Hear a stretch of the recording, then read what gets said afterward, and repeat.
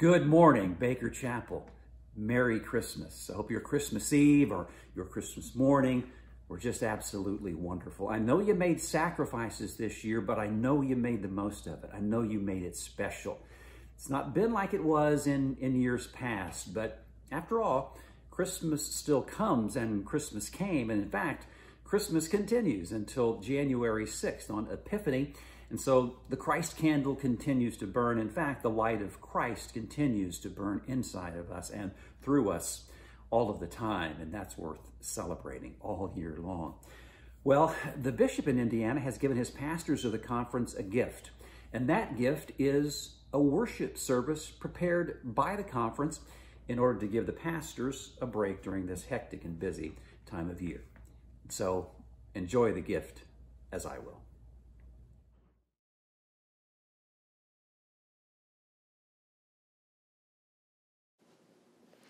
And welcome to our extended cabinet worship experience. It is the first Sunday after Christmas, and we are in this Christmas season where we have unwrapped the gifts and we have celebrated the birth of hope in this world. I hope that we will be able to prepare our hearts and minds for what we will experience throughout this worship encounter. Here now is the time for worship. Our scripture today is from Psalm 118, verses 1 through 7 and verses 27 through 29, and read by a lady all over the Indiana Southeast District. Oh, give thanks to the Lord, for he is good. His steadfast love endures forever. Let Israel say, His steadfast love endures forever. Let the house of Aaron say, His steadfast love endures forever. 이제 여호와를 경외하는 자는 말하기를 그의 인자하심이 영원하다 할지로다.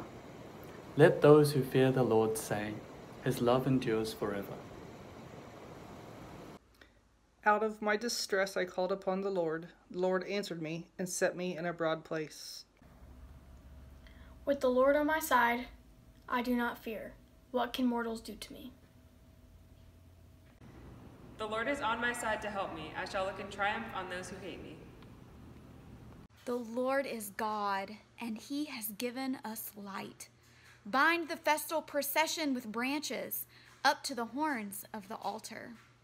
You are my God, I will give thanks to you. You are my God, I will extol you. I'll give thanks to the Lord, for he is good, for his steadfast love endures forever.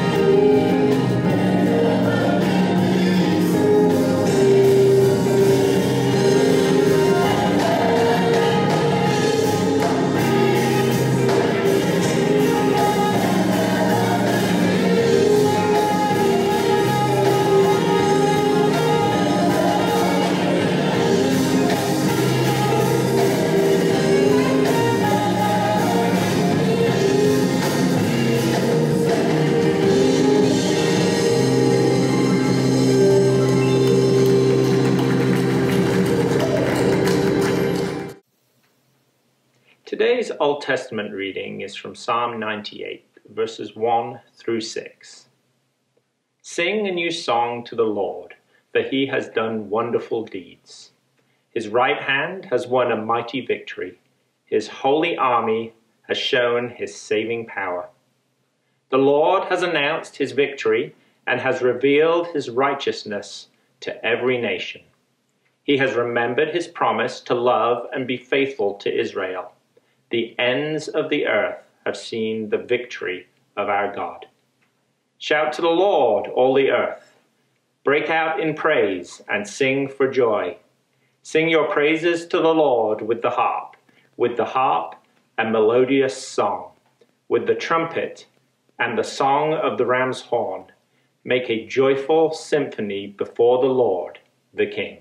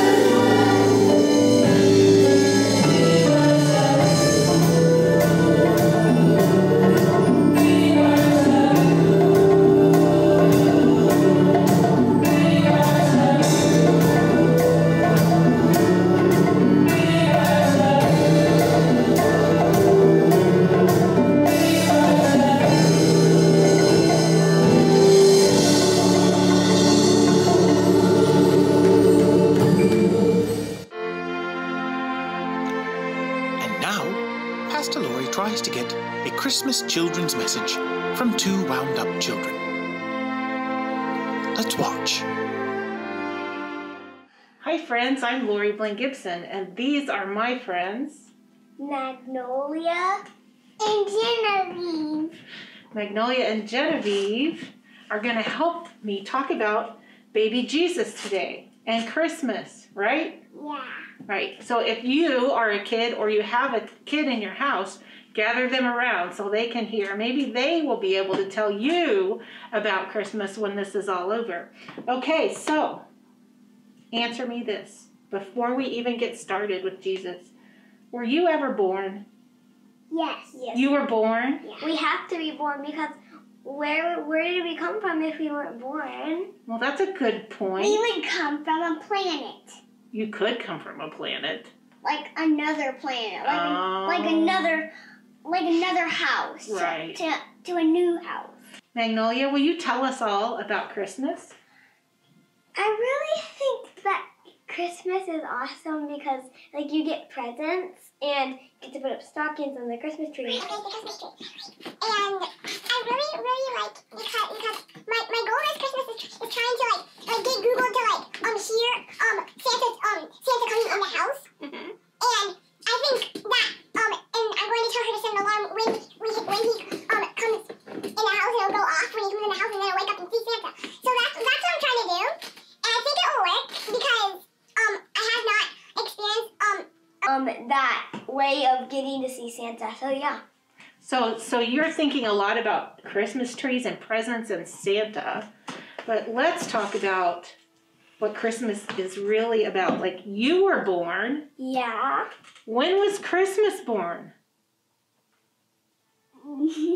Let me give you a hint. Remember that Oh. story? Christmas was born when Jesus was born, and what does Jesus got to do with Christmas? He was born on Christmas Day. Well, that's what we celebrate. On Christmas, we celebrate his birth. So I just want us to remember something really important.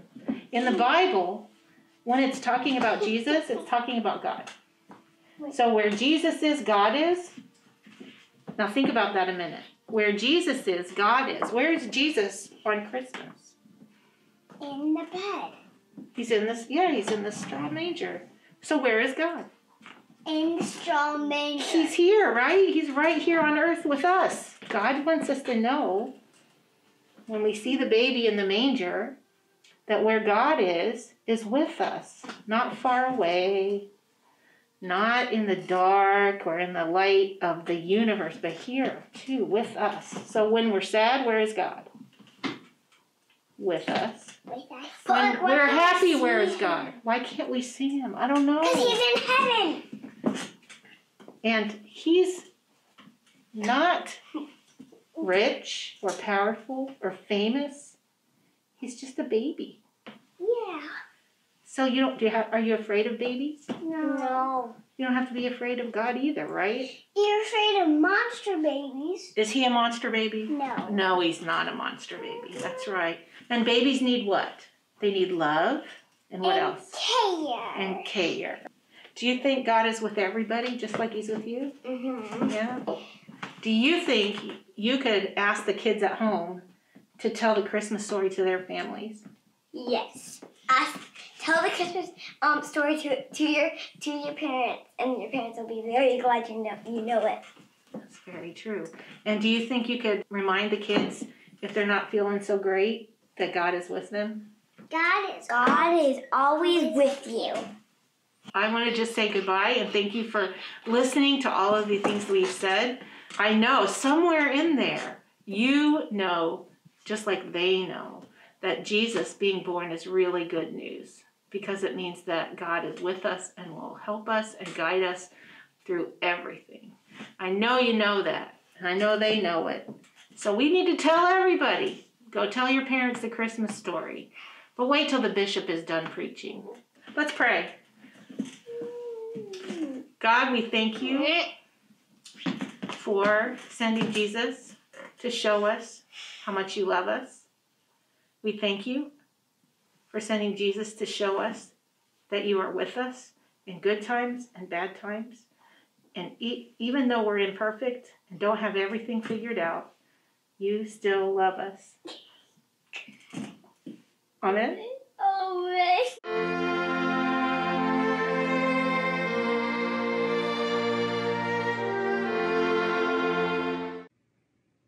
From the Common English Bible, the good news of the birth of Jesus Christ, according to St. Matthew chapter 2. In those days, Caesar Augustus declared that everyone throughout the empire should be enrolled in the tax lists. This first enrollment occurred when Quirinius governed Syria. Everyone went to their own cities to be enrolled. Since Joseph belonged to David's house and family line, he went up from the city of Nazareth in Galilee to David's city called Bethlehem in Judea. He went to be enrolled together with Mary, who was promised to him in marriage and who was pregnant. While they were there, the time came for Mary to have her baby. She gave birth to her firstborn child, a son, wrapped him snugly, and laid him in a manger because there was no place for them in the guest room. Nearby, shepherds were living in the fields, guarding their sheep at night. The Lord's angel stood before them. The Lord's glory shone around them, and they were terrified. The angel said, Don't be afraid. Look, I bring good news to you, wonderful, joyous news for all people. Your Savior is born today in David's city. He is Christ the Lord. This is a sign for you. You will find a newborn baby wrapped snugly and lying in a manger. Suddenly, a great assembly of the heavenly forces was with the angel, praising God. They said, Glory to God in heaven, and on earth peace among those whom he favors. When the angels returned to heaven, the shepherds said to each other, Let's go right now to Bethlehem and see what's happened. Let's confirm what the Lord has revealed to us. They went quickly and found Mary and Joseph and the baby lying in the manger. When they saw this, they reported what they had been told about this child. Everyone who heard it was amazed at what the shepherds told them. Mary committed these things to memory and considered them carefully.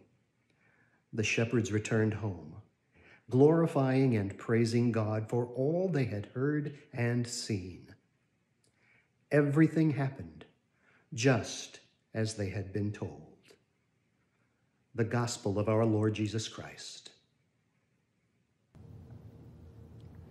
그때 가이사 아구스도가 영을 내려 천하로 다 호적하라 하였으니 이 호적은 구레뇨가 수리아 총독이 되었을 때 처음 한 것이라 모든 사람이 호적하러 각각 고향으로 돌아가매 요셉도 다윗의 집 족속이므로 갈릴리 나사렛 동네에서 유대를 향하여 베들레헴이라 하는 다윗의 동네로 그 약혼한 마리아와 함께 호적하러 올라가니 마리아가 이미 잉태하였더라.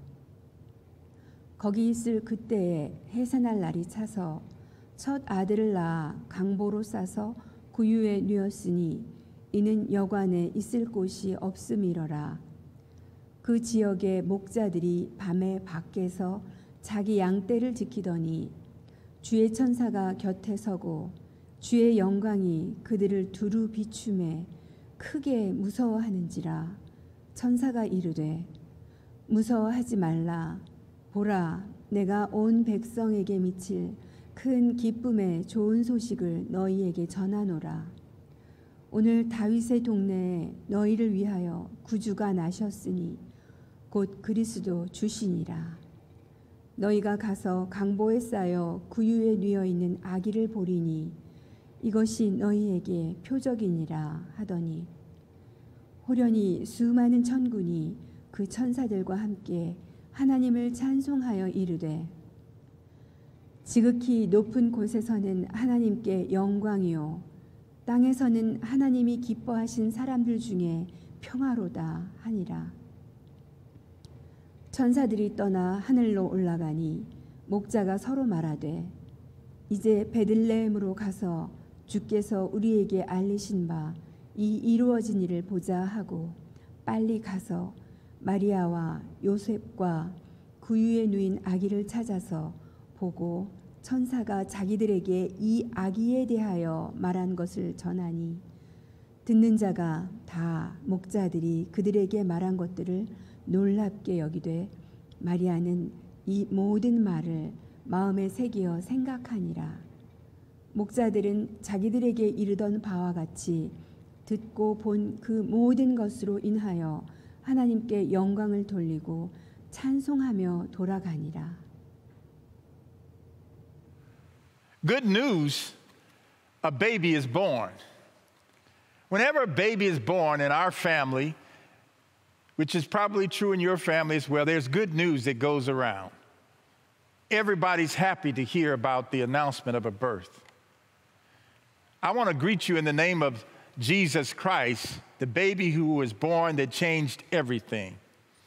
I greet you on behalf of United Methodists in the state of Indiana and all of the people who look forward to the birth of Jesus Christ. Let me begin this message by sharing a poem I have written entitled, I Am Listening. I am listening. Don't tell me, be not afraid. Do you know my story, both pain and glory? Do you know what year it is? 2020. Sickness, loss, death. Need I say there has been plenty? Do not fear as our flight passes through turbulence. We are in this together by choice and by chance. Separation, isolation, questions no one answers. Tears no one sees. So don't dismiss me in this moment as though I am invisible. I am hungry. Don't tell me, be not afraid. Give me fresh bread, friendship, and hope. I am lonely, not for more news, missing their touch. How long, God, it feels like too much. But today I am here, unmasked from my fear. So you have my attention, be clear. So tell me a story that I may hold on. Look up and be glad and stay woke with hope. And remember this year, I am alive. We are alive for Christmas. The Annunciation of Jesus' birth, the People's New Testament commentary, shares about Matthew and Luke's gospel. God's initiative and surprising grace chooses a young unmarried woman from an obscure village to be the mother of the Son of God. In Matthew's gospel, Joseph is highlighted in the birth story. In Luke's profession, Mary and Elizabeth have leading roles in the story.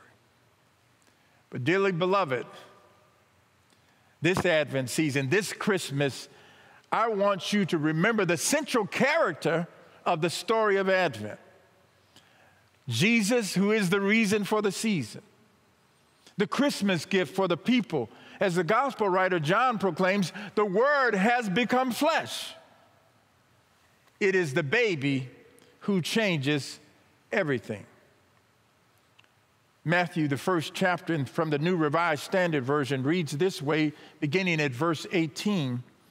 Now, the birth of Jesus, the Messiah, took place in this way. When his mother Mary had been engaged to Joseph, but before they lived together, she was found to be with child from the Holy Spirit. Her husband Joseph, being a righteous man and unwilling to expose her to public disgrace, planned to dismiss her quietly. But just when he had resolved to do this, an angel of the Lord appeared to him and said, Joseph, son of David, do not be afraid to take Mary as your wife for the child conceived in her is from the Holy Spirit. She will bear a son, and you are to name him Jesus, for he will save his people from their sins. All this took place to fulfill what had been spoken by the Lord through the prophet. Look, the virgin shall conceive and bear a son, and they shall name him Emmanuel, which means God is with us. When Joseph awoke from sleep, he did as the angel of the Lord commanded him. He took her as his wife, but had no marital relations with her until she had borne a son, and he named him Jesus. Gift number one Jesus is born. A gift, a child, a blessing that changes everything.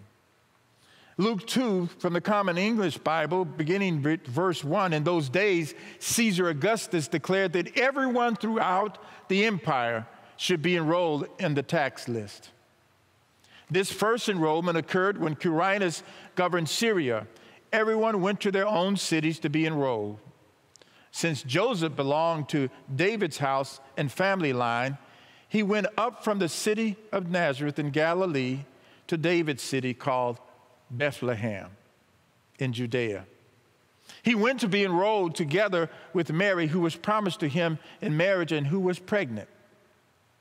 While they were there, the time came for Mary to have her baby. She gave birth to her firstborn child, a son, wrapped him snugly, and laid him in a manger because there was no place for them in the guest room. Gift number two the baby is born for everybody. Nobody is too poor, nobody is too rich. Born in a manger, in a grotto, in a cave. Luke 2, verse 8 through 14. Nearby shepherds were living in the fields, guarding their sheep at night. The Lord's angel stood before them, the Lord's glory shone around them, and they were terrified. The angel said, Do not be afraid. I bring you good news, wonderful, joyous news for all people. Your Savior is born today in David's city. He is Christ the Lord. This is a sign for you. You will find a newborn baby wrapped snugly, lying in a manger. Suddenly, a great assembly of heavenly forces was with the angel. They praising God and they sang, Glory to God in heaven, and on earth peace among those whom he favors. Gift number three we have been granted peace from heaven and favor here on earth. Glory to God in heaven and on earth, peace among those whom he favors. Luke's recount of the Nativity story is described with the backdrop of ancient Roman history. Emperor Augustus, the adopted heir of Julius Caesar, born 69 before the Christian era, given the title Augustus, which meant reverend or to be revered. He had political power, but also religious reverence. Quirinius, it says, was governor of Syria, the Roman province of northeast Judea. And Joseph went with Mary to register on the tax list. They went to David's city called Bethlehem in Judea. Why? Because Joseph was a descendant of David. Mary's time for birth came while they were in Bethlehem, laid in a manger, because there was no place in the inn. Jesus is born. Jesus' birth is good news for all people, Samaritans and Romans alike. In fact, for all people. We know that from the book of Acts, the second chapter, when we speak of the birth of the church, there were pious Jews from every nation under heaven living in Jerusalem. When they heard a sound, a crowd gathered. They were mystified because everyone heard them speaking in their native languages. They were surprised and amazed, saying, Look, aren't all the people who are speaking Galileans? Every one of them? How can each of us hear them speaking in our native language? Parthians, Medes, and Elamites, as well as residents of Mesopotamia, Judea and Cappadocia, Pontus and Asia, Phrygia and Pamphylia, Egypt, and the regions of Libya bordering Cyrene, and visitors even from Rome, Jews and converts to Judaism, Cretans and Arabs. We hear them declaring the mighty works of God in our own language.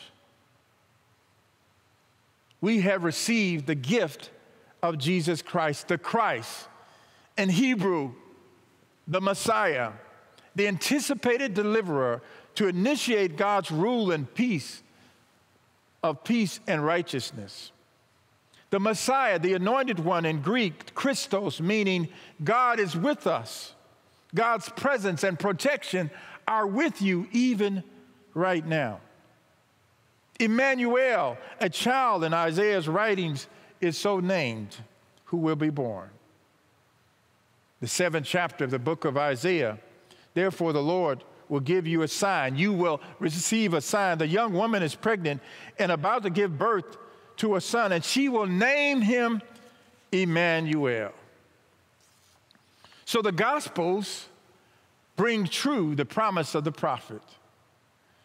And dear friends, a baby is born this Christmas to remind us that God wins, love wins, and in spite of all that you have been through, we have been through, there is good news this Christmas.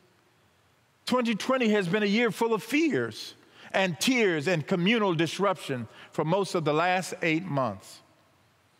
I could not go to funerals, hold and hug with freedom. I've been wearing a mask that covers my smile and my dimples. I have been exhausted and distraught by racial discord, injustice, and political pundits. I've been inspired. I have been inspired over and over again by the kindness and compassion of Christians and faithful ones who are looking out for others, those who have cared for the sick and troubled. I marvel at parents pouring love into their children and families. I grieve for the children who need to know they are loved and blessed. I weep for those who are hungry when so much of us have more than enough. The birth of a child is a miracle, a gift to all of us meaning that we should champion the very belief that children matter most. God's promise to Abraham was that your descendants will be as numerous as the stars, and through your offspring, all nations, all nations of the earth will be blessed. This, friends, is a reminder that babies born from generation to generation are transmitters of hope, signs of wonder, confirmation of God's love. God looked at the human family and decided that Abraham and Sarah were not enough. Moses was not enough. Solomon and Deborah, Ruth, Naomi, prophets were not enough. God decided, I must come myself. The promised gift of life, of hope, of awesome wonder comes in good news in a manger. Jesus comes and says to the rich, I am poor. He says, To the poor, I am rich. To the burden, I am rest. To the weak, I am strength. To the fearful, I am joy. To, the, to those who are depressed, I am life. To the lonely, he says, I am friend. To the lost, I am your good shepherd. And to those who are hurting, he says, I am love for you. I hope in 2021, uh, if not the end of 2021 and 2022, you might have an opportunity at some point, or you or your pastor or someone from your church you might sponsor to go to the Holy Land. My wife and I have led groups there over the years. It's always a marvelous experience to go to the Church of the Nativity in Bethlehem and to climb down into the, what's called a grotto, which is really a cave the place where they say Jesus was born. It's interesting that this Holy Land we read about in the Bible, or, or, some call it the fifth gospel Matthew, Mark, and Luke. Matthew, Mark, Luke, and John are the four gospels. The fifth gospel is the land where Jesus walked, it's the land of the Bible. It's amazing that this land is, is less than a third of the size of the state of Indiana. So when you hear names like Galilee and Capernaum and Nazareth and Bethlehem, these are places that are not that far apart. O holy child of Bethlehem, descend to us, we pray. Cast out our sin and enter in. Be born in us today. We hear the Christmas angels, the great glad tidings tell. Oh, come to us, abide in us, our Lord Emmanuel. Eternal God, by the birth of Jesus Christ, you gave yourself to the world. Grant that being born in our hearts, born in our hearts, you may save us from our sins. Restore within us the image and likeness of our Creator, to whom be everlasting praise and glory, world without end. Amen. Have a blessed Christmas. A blessed Christmas does not dismiss the fact that there has been hurt and pain in 2020. A blessed Christmas gives room for our questions, gives rooms for our, our doubts. A blessed Christmas is a reminder that the baby Jesus who has come has come for all of us to bless your home and to bless your life and to remind you that you are loved and we are loved. Have a blessed Christmas in Jesus' name. Amen. We pray for the world. Oramos por el mundo.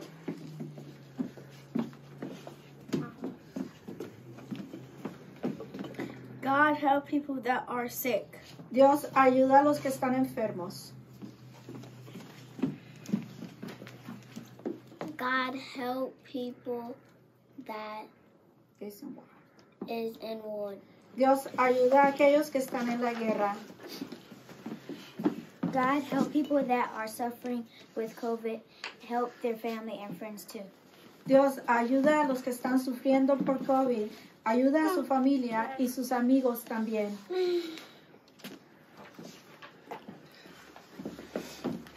God help people that think they have all but they don't have you. Dios ayuda a aquellos que piensan que tienen todo, pero no te tienen a ti.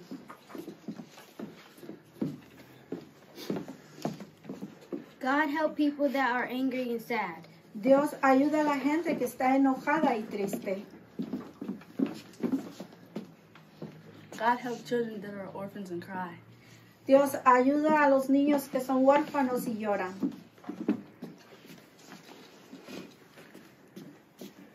God help people who believe in pe- you. Dios ayuda a la gente que cree en ti. The people do not believe in you. And people do not believe in you. And people that they don't believe you. Y a la gente que no cree en ti. God, we live in this amazing world that you created, but sometimes it's, it's very hard. We know that Jesus is the light we of the world, our Savior and Healer, helps us love one another. Help the world to know that Jesus is the way to you and to heaven. Amen. Dios, vivimos en este mundo maravilloso que tú has creado, pero a veces es difícil vivir aquí. Sabemos que Jesús es la luz del mundo, nuestro Salvador y nuestro curador. Ayúdanos por favor a amarnos unos a otros y que Jesús y que puedan conocer a Jesús y llevarnos a la vida eterna. En el nombre de Jesús. Amén. And now, as the children of God, forgiven, redeemed, and connected by God's Holy Spirit, let us lift our voices to God as we boldly pray Our Father, who art in heaven, hallowed be thy name. Thy kingdom come, thy will be done on earth as it is in heaven. Give us this day our daily bread, and forgive us our trespasses as we forgive those who trespass against us. And lead us not into temptation, but deliver us from evil. For thine is the kingdom, and the power, and the glory forever. Amen. As you prepare to give or send your tithe or offering, we thank you. Scripture tells us the wise men traveled across a great distance to find the Messiah, alive in the infant Jesus. When they found him, they brought gifts to show their faithful adoration. Thank you for continuing their tradition. Thank you for giving of your time, your talents, and your treasures. Thank you for trusting them to your church that your gifts might be used to glorify God. Thank you for giving.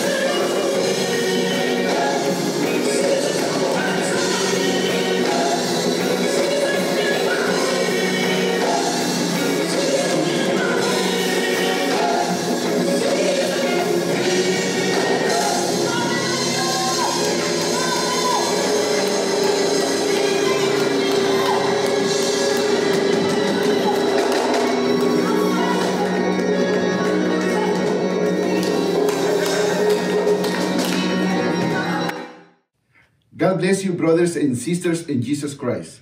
Es un honor para nosotros el día de hoy estar frente a ustedes.